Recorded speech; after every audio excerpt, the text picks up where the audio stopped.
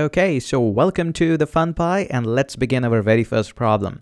Now before I even start to write the code for this problem and teach you how to write the problem, our solution three points, three very crucial point. Point number one, the complexity of the problems is going to increase as we proceed with this series. Now, right now in the very initial movies, you'll feel that, hey, this is something everybody can do, but uh, later on the complexity will increase quite a lot. We are even going to tackle down how to analyze the datas or web scraping and a lot of things will come up for sure. Point number two is whenever you see these asterisk mark in all of the problems, that means your job starts from here. Now, very top will be the problem and I'm going to be solving it along with you. And as soon as we hit the asterisk, this means you need to solve further of the problem. Obviously, this is going to be based on our first problem set, then you'll be doing this. A lot of you are going to say, hey, boo, you are not giving us the solution for rest of the problem. No, I'm not going to be giving you because programming needs a little bit gentle kick in the, you know, the word. So you really need to push yourself a little bit harder and these are not extreme problems after this. So go ahead, try it yourself. Now, the point number three is you can find these kinds of solution anywhere on the internet. But the whole point of this series is to make sure that I teach you how the solution was built up. So quite a lot of talk we have done. Now let's read the problem. So the problem is really simple. My dad wants to buy a new car and he's very picky about getting the number plate of the car he went on to the tra transportation department and they have given us the direction that we can choose any number between 4000 to 6522. Okay, sounds good.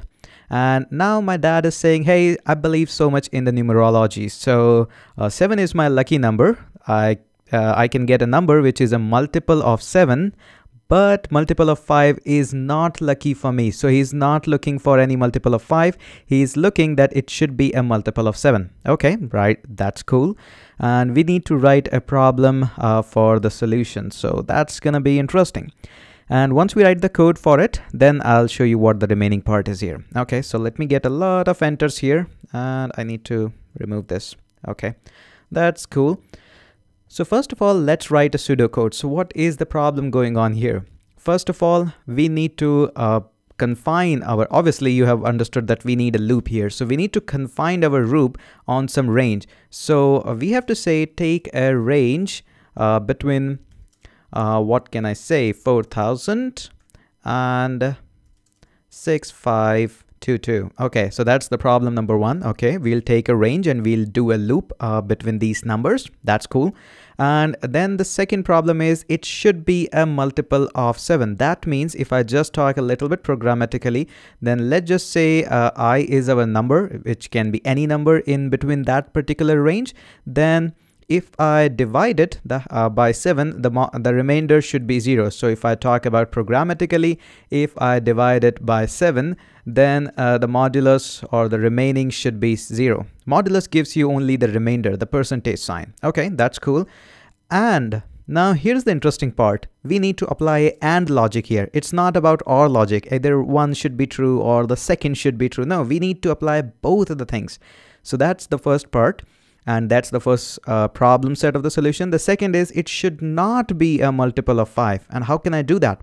I can simply say and the i, when I divide it by 5, for example, uh, when I say person by 5, it should not give me 0. So if I write this, this is going to be wrong because it should not give me 0. So I'll put an ex exclamation there. There we go. We have built up a logic. And finally, we need to print all numbers. There we go. Sounds simple? And this is how exactly every problem is being solved.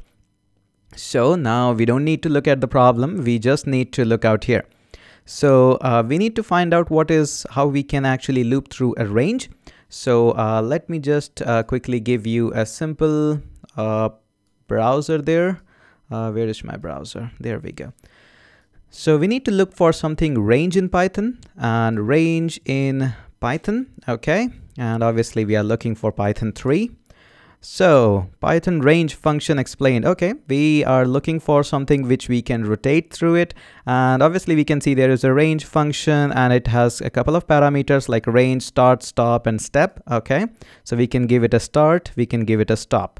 And there we go, a simple cool example, range in 5 and it prints out from 0 to 4. So it's not inclusive. If you want to include it, make sure that you give it a number afterwards. Okay, pretty cool example. Now we have learned it and that's pretty good for us. So now let's write a code for it. So first of all, we need a, a variable to store all of our values. So uh, let me call this as uh, num cars or car nums, and that's gonna be a simply list. Let's give it an empty list for now. We'll be storing all of our numbers here. Now let's write a code for i in range, and that's how we write the loop there. And notice it gives us a suggestion there all thanks to the add-on of Python suggestions. So we are looking for this. Oops, let me write it again. And there we go. So start and stop, what are the ranges for us? So let me give it a start range there. And the start range is 4000. So there we go, 4000 comma. Now we need to give it a stop range, which is going to be 6523 6523 because range is non-inclusive so we have to give a one number ahead. Okay we don't need to give the step because that's an optional argument. If you don't give it no problem at all. Okay looks cool. And I'll put a colon there. Okay there we go. Now we are inside the loop. Now we need to test for every i. So I'm going to be writing a very simple logic here. So let me just write it there. If i is and exactly I'll be copying and pasting the above logic here. So pretty easy. I modulus by 7 if it is there then it's good. Now we need another kind of a condition here. And then I'm gonna be saying I should when I divide it by 5 okay it should not be equivalent to 0 so equivalent to 0 where is equal 0 there we go. Looks nice. So it should be a complete divisible by 7 uh, but when I divide it by 5 it should not be completely divided. Okay there we go. We have built up a pretty easy logic. Now let's just have our num cards dot append. This is again a pretty easy method that we have here. And there we go now we would like to store all of this here uh, we can do it right now. It's going to be pretty easy, but let me show you one trick here. Pretty interesting one. And uh, what I'm saying is here that you can give it an i and that code is going to be working really fine, but I like it to be converted into the string. How can I do that? I just have to apply a str function there. And now it's this i is actually being converted into the string. And why am I doing it? Because when I actually print it, uh, let me just get out of this loop. Uh, when I print it, let me just give you a print.